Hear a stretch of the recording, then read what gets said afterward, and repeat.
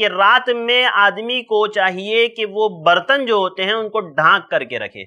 हदीस सुनिए, अल्लाह के नबी सल्लल्लाहु अलैहि वसल्लम ने फरमाया, बर्तन को ढाक करके रखो और मशकीज़े का मुँह बंद करके रखो। इसलिए कि शैतान ना ऐसे मशकीज़े को खोलता है और ना ही ऐसे दरवाजे को और ना ही ऐसे बर्तन को जो बंद कर दिया गया हो।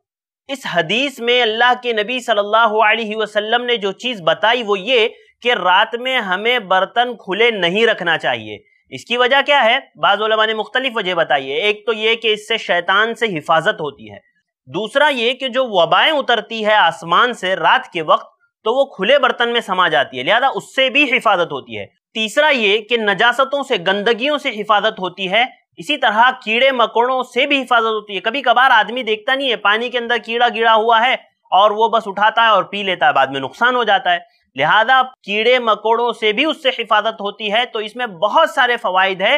लिहाजा हमें अपने बर्तनों को ढांक करके रखना चाहिए। ऐसे ही और वीडियोस बनाने में हमारी मदद करें।